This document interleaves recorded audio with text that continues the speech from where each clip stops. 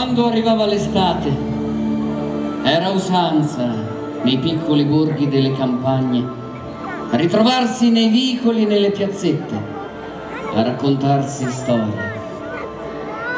Io, questa sera, ve ne narrerò una così affascinante e piena di magia da farvi restare a bocca aperta. Questa storia racconta di una certa Matteuccia di Francesco. Essa aveva il dono di guarire le persone da molte malattie del corpo e dello spirito. Lo faceva usando erbe e strani rituali, senza chiedere denaro in cambio, ma solo quello che il buon cuore delle persone dava a lei.